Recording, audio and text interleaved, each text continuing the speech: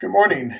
Today, I just want to welcome you into uh, our Tear Fund Sunday. Tear Fund is an organization here in Canada that uh, operates in other parts of the world at the Free Methodist Church in Canada, uh, partner with Tear Fund Canada to help in situations that go on around the world, especially in crisis events. Uh, right now, you can give to uh, through Tear Fund to help people in places like Lebanon, uh, the Gaza Strip, various areas that are in conflict uh, or where there's immediate needs. They also are at work uh, helping uh, many different countries and many different communities, making a difference and helping the most vulnerable. And so once a year, we take this opportunity to celebrate what Tear Fund is doing, to hear what they are doing and uh, to promote and and also to give an opportunity uh, to give to this important ministry. Uh, and so this morning, the message that I have to share is is kind of a guided message from Tear Fund Canada that I've kind of adapted and worked into place. So I just want you to know that as we uh, launch into this morning's message. And uh, the theme for today is called Streams of Living Water. The message outline, again, today comes from Tear Fund Canada, and, uh, and so I've made those uh, adaptations. You'll also notice as we move along that slides will come up as part of the PowerPoint. Normally they come up at the bottom of the screen, but uh, I will continue to talk, but you'll see those slides come up so you can see the full slide and the information that's listed there. So I want to begin by asking you a question. How do you or we view a changing climate? Do you feel that climate change is a hoax or uh, it all burns up in the end anyway, so why care about it? This is God's plan, or maybe you feel that um, saving people is the priority of the church, not the planet. Maybe you can relate to some of these statements, or maybe you know of family members and church friends who have expressed such views. I was actually thinking this week that here we are in the middle of October, and here in Kingston, we have yet to even have a, had a frost on the ground in the morning. I remember growing up as a teenager, I worked on a farm south in southwestern Ontario, Every year, without fail, we would have frost warnings beginning in late August. The farmers were concerned as a heavy frost meant the loss of their crop. As one who loves snowmobiling, we're almost always on our sleds by early November through to late March. Today, there are some years when they cannot even get the trails open due to a lack of snow. So, in my mind, something has certainly changed. As part of Tear Fund Sunday, we're going to take a fresh look at creation and we're going to ask ourselves the question should we care? The clear answer is yes. John Stott says, Our concern for the environment is not just a Christian duty, it's also an aspect of our Christian witness. We must demonstrate that we care for God's creation. So, a good place to start, regardless of your views on climate change, is to look at the Bible and what it has to say about caring for creation and why we as Christians should be leading the charge, so to speak, on this topic. Point number one is that we recognize that there is a creator. In the beginning, God created the heavens and the earth, Genesis 1 1. God is the creator of all things, and he exists separate from creation before anything there was God. The acceptance of an eternal God who has always existed and who created all things is the foundation of all truth. So, with this understanding, we can recognize that point two God loves and values his creation. You'll often hear this statement echoing uh, the halls of many churches across Canada God is good, with the response all the time, and then repeated in reverse all the time God is good. But we but have we ever purposefully tied that goodness um, to creation? I hope as part of the service in Eyebrow, anyways, that you've uh, had somebody read Genesis 1 uh, uh, as part of the service. If not, take that opportunity to read Genesis chapter 1 and uh, when you have opportunity to do that yourself. And chapter Genesis chapter 1, it's full of the goodness of God. At the end of each day of creation, he saw that it was good. And then in verse 31, he completes creation by calling it very good. So, if a good God saw what he has created as very good, then shouldn't our response be the same? And if it is declared very good by a good God, then why should we accept and expect and even aid in its destruction? He didn't just declare it very good and then forget about it. He continues to create and care for creation. The Psalms are full of this reality. There's many Psalms I've listed there, I believe, on the screen. Uh, 8, 33, 84, 95, 104, 145, 146, 147, 148.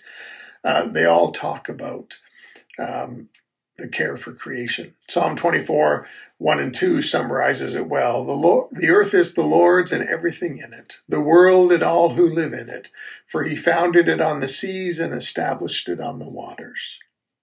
Job speaks of it. In his hand is the life of every creature and the breath of all mankind, Job 12:10 as well in Job 26, 7 to 14, and of course the final chapters of Job, as a creator God defends his goodness, justice, and uh, might by speaking of his creation. Nehemiah declares, You alone are the Lord. You made the heavens, even the highest heavens, and all the starry hosts, the earth and all that is on it the seas and all that is in them.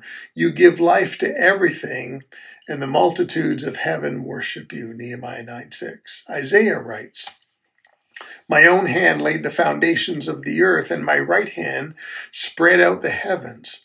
When I summon them, they all stand up together. Isaiah 48 13. You can also see Isaiah 40 28 and Isaiah 45 12. And of course, Jesus declares the Father's care of creation in the Sermon on the Mount when he says, Therefore I tell you, do not worry about your life, what you will eat or drink, or about your body, what you will wear.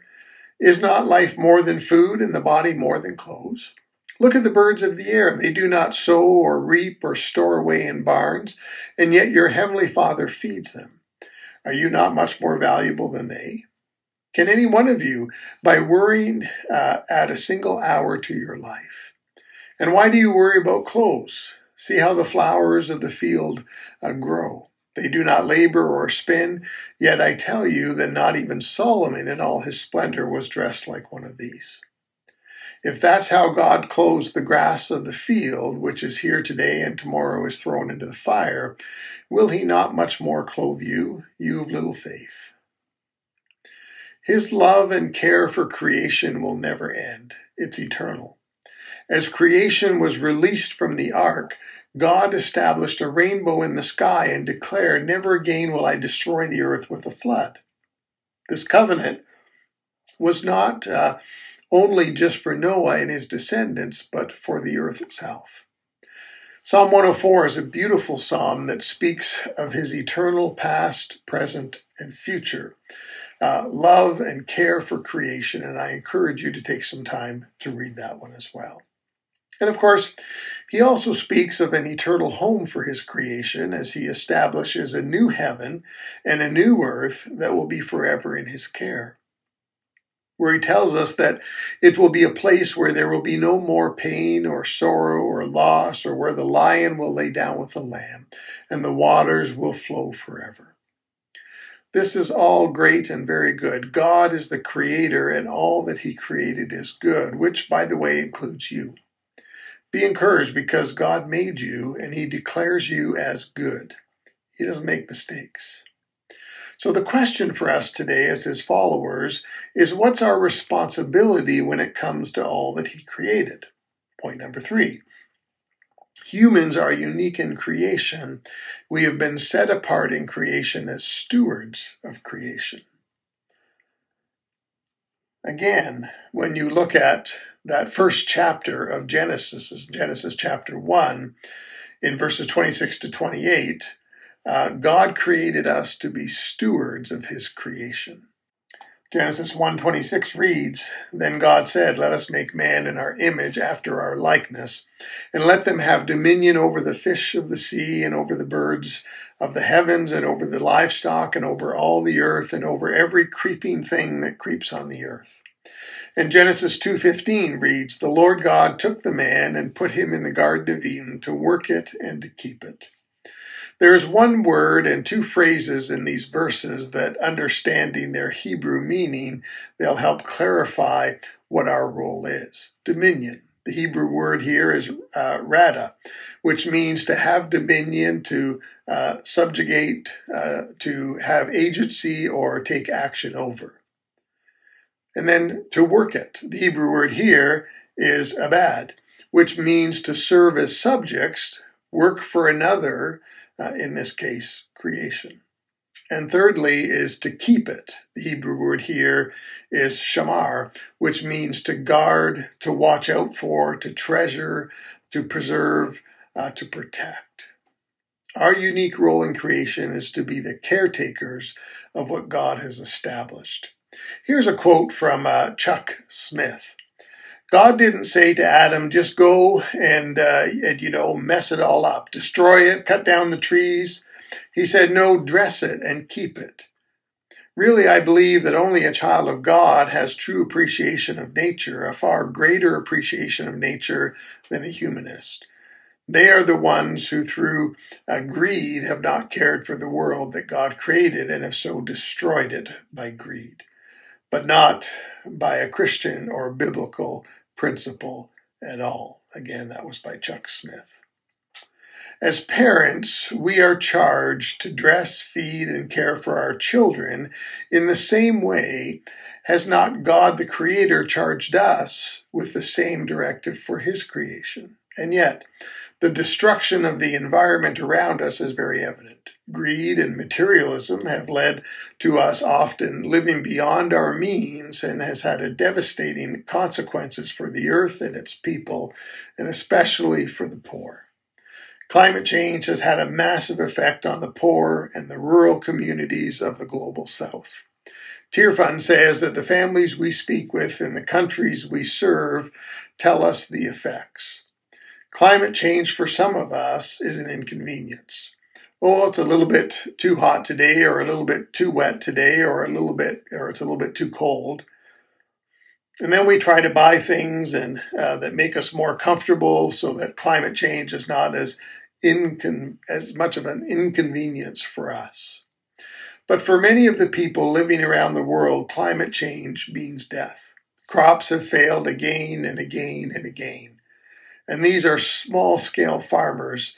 And for them, when the rain is too much or too little or comes at the wrong time, either too early or too late, it's basically death. And so we've seen a huge number of farmers committing suicide. The Evangelical Fellowship of India Commission on Relief had this to say If we do not help families adapt and address some of the causes of climate change, then even more people will enter into extreme poverty. At Tearfund Canada, it is their mission to elevate individuals and community, communities out of extreme poverty.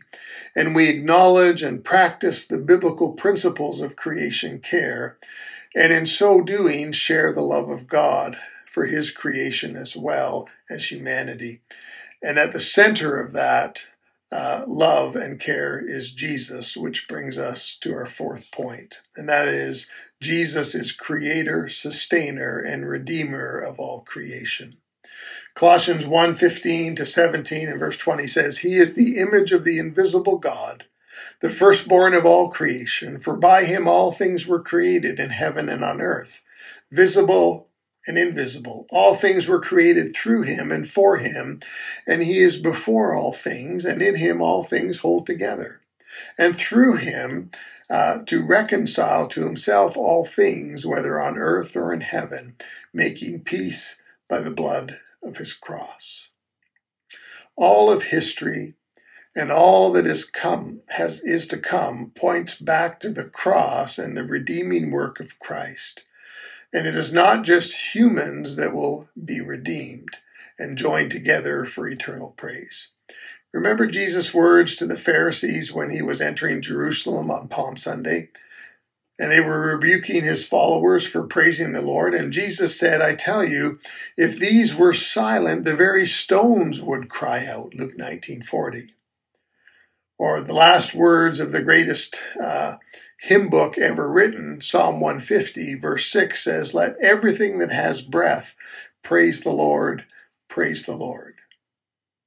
So, based on that, does that mean there will be rock concerts in heaven? The rocks will cry out. Anyways, in the meantime, but in the meantime, we wait with all creation because, point five, creation longs to be redeemed. Romans 8, 12 and 22. For the creation waits with eager longing for the revealing of the children of God. For the creation was subjected to futility, not of its own will, but by the will of the one who subjected it, in hope that the creation itself would be set free from its enslavement to decay and will obtain the freedom of the glory of the children of God. We know that the whole creation has been groaning together as it suffers together the pains of labor. We live in a fallen, created world where the created is worshiped over the Creator Himself, where greed, ambition, and selfishness supersedes love and care. This is not God's original plan, but it has been our reality ever since Genesis 3. So, what's our response as Christians? At Tear Fund, we talked about poverty existing because of man's original sin. Poverty is a result of mankind's broken relationship with God, self, others, and creation. Poverty at its core is more spiritual, with the physical lack being the outcome of that brokenness. But the good news is, is that through Jesus, God is working to restore these broken relationships and to make all things new.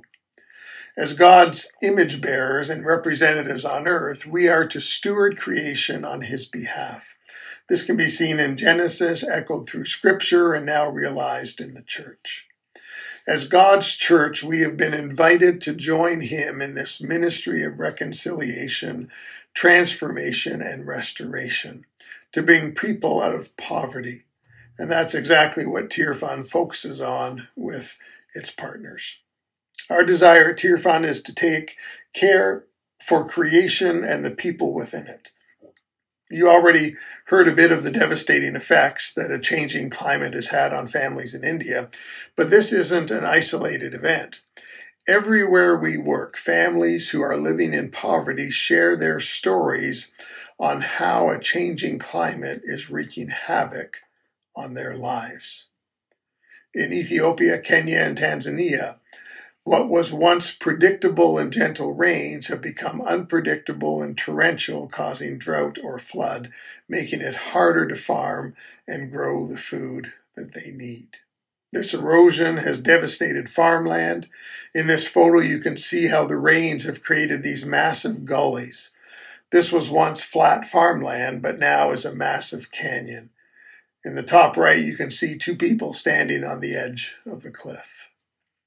This photo was taken just a few months ago in South Sudan. Elderly, uh, this man uh, has lived in this part of South uh, Sudan for decades, and he told us how over time the rains have been coming later and later, leading to mass food shortages.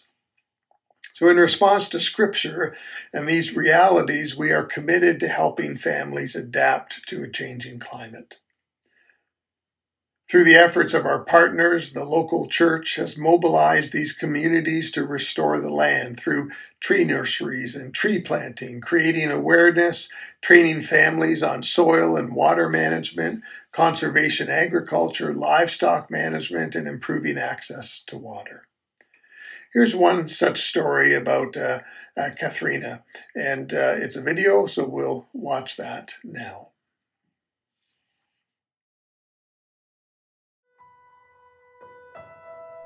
Nimesema majina ni Catherine. My name is Catherine Kitonga. Niko na mume, I have a husband and three children. Kazi ambayo mi hufanya I work as a crop and poultry farmer.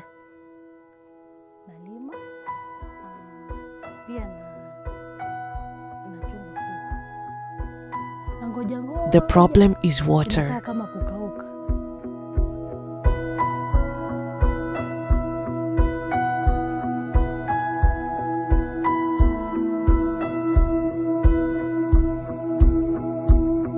Wakati Before settling here in 2011, there was drought. We lived here for years and we were poor. By then, sikuwa na sikuwa na My husband would acquire small tasks to try to sustain us. During the dry season, children don't go to school. Can a child go to school on an empty stomach while the parents are living in poverty? When I started with Tear Fund Savings Group, I earned some returns. pata kiasi tu, si ile mingi. I started buying chicks and chickens so I could start poultry farming. vifaranga hizi kuja I was then taught conservation agriculture by my teachers. I sourced some money from the group to hire someone to dig the pits and begin planting maize. I stopped farming with the old techniques because I do not reap anything. Nikakuja 2016 In 2016, I dug our borehole, began to plant sukuma wiki, and began finding new ways to earn money. Upon harvesting some sukuma, I will sell it and buy food for the children. My entire farm will resemble my kitchen garden with the zai pits.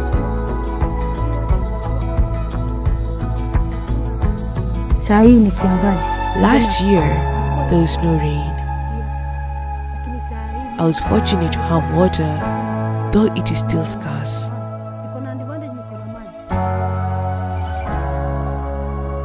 our programming matters with food now becomes a, a, a major challenge to many families and households.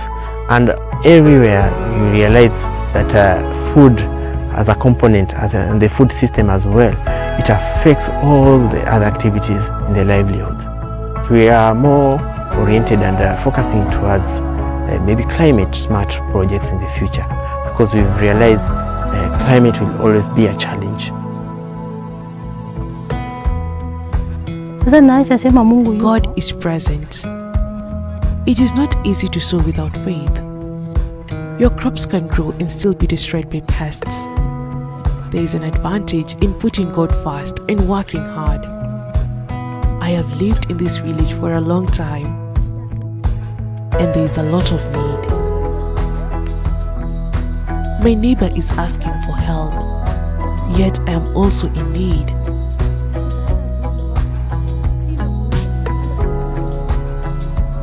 Because of Tear Fund, things are much better.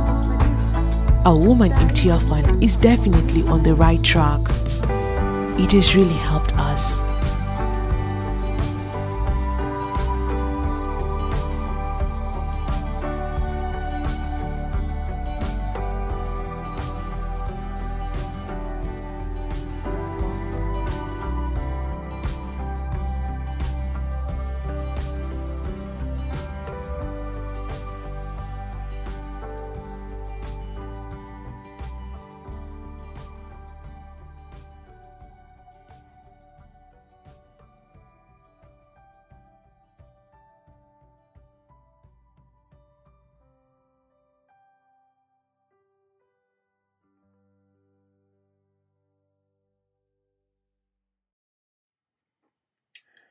Katharina lives in a place called uh, Makueni, Kenya, a region. The region is very dry, yet Katharina's crops grow. How? Through climate adaptation techniques such as climate smart agriculture, which prevents erosion, conserves water, and improves soil fertility, but still increasing temperatures have made water harder to find. And our vision is to go bigger. And as a result, we have started two new projects to restore land and give families a future. Together with local churches, Tear Fund has started two projects to restore large degraded landscapes and help families uh, sustainably grow more food. And you can be a part of this. Through your generosity, you can make a tangible difference and join in God's redeeming work in creation and in the lives of the poor. As you can see on the slide, your donations go to supporting and create the creation of tree nurseries and the, the planting of trees to reduce soil erosion.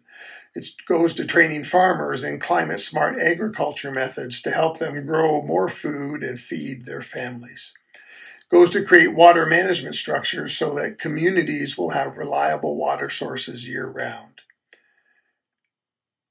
To create a sustainable, thriving community. So today we're looking for people to join us by contributing to a few specific things. All money donated today will be used to help families adapt to a changing climate so that they can thrive in the long term. And here are some examples of the cost related to the above projects. $100 can provide 2,500 tree seedlings. $350 can sponsor a farmer field school teaching about cultivation and how to do cultivation well. 750 can dig a water reserve, uh, reservoir. So, in closing, I'd like to say that it's a pleasure to be partnered with Tear Fund Canada, knowing that they are being Jesus to the world beyond Canada.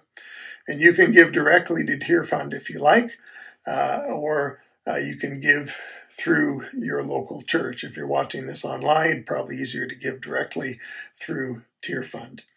And um, and so that is the best way to give and help in these areas. In closing, let me read Psalm 24, verses 1 and 2.